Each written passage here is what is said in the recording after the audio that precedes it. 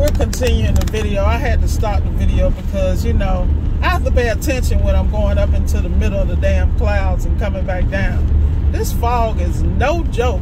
Shout out to Destin and the West Coast. Boy, I hate this fog. Y'all don't understand. I do not like bridges. And to go up into a bridge in the middle of a fog is like, ah. But anyway, I digress. Getting back to the conversation. So we all can have multi-million dollar businesses, but you have to be prepared to layer on the expenses and the responsibilities that come with that. Shout out to the person on the bike going up the bridge. I am not, I don't know how he doing that one. Whew. My nerves are still jacked up, y'all, but I'm gonna be okay. Cause one thing about Miss Ward, I might be shook, but I'm gonna do it anyway. Cause I'm about my bag now. I'm about my business. And that's how you gotta be. You know, shout out to all the guys that's pushing out the numbers and doing their thing. But the reality is transparency needs to come to the table. How much profit are you really making? How debt are you how deep in debt are you? And how are you able to get that? See, some of us know how to sell high, have profit, and flip and dip the, the sales that we're making. Like there's a way for you to make money off the sales that you're actually making right now. You feel me? Like people don't understand this stuff is a game. That's when business gets real. Because your money should always work twice as hard as you do. This is a fact.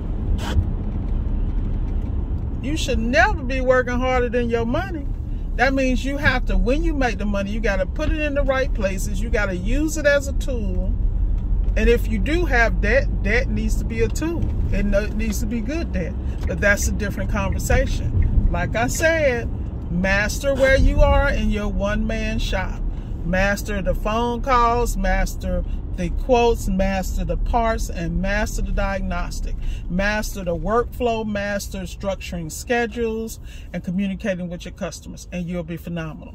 But remember, people with multi-million dollar businesses, there is a price that they pay. You feel me? Time from their families. I'm not knocking anybody hustle, but I'm telling you, be transparent and tell people the truth. The truth is this stuff costs money if you're trying to move at that level. You can do well by yourself doing three to four, three to five calls a day. Even if your average call is four to five hundred dollars, you know, a day. You know, me, I prefer to do seal systems, you know, $2,500 average on my seal system game.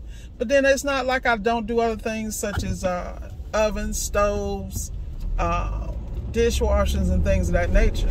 But all those are premium tickets because I run my business off of ticket average. My key performance indicator is ticket average because I am always checking the numbers.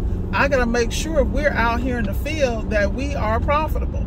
Period. That is no, this not, I'm not leaving and there's no profit involved. That's not how I operate. And that way I can handle any blow, any recall, any comeback, any negative because I've stored enough profit in the conversation, in the relationship, in the actual ticket, and the transaction to be successful. You know, it's a lot of times people in the end of the month with the short end of the stick. They can't pay any of their invoices. They can't pay anything off because they had all their money went running trying to get to this big ticket that you had no profit in anyway because you, you were over your head. So the reality is grow up and do the shit right. That's all I'm saying. Stop trying to be everybody else and be the best you you can be. That's all I got for y'all. Let me get out here and get some more of this cheese. And I'll talk to you later.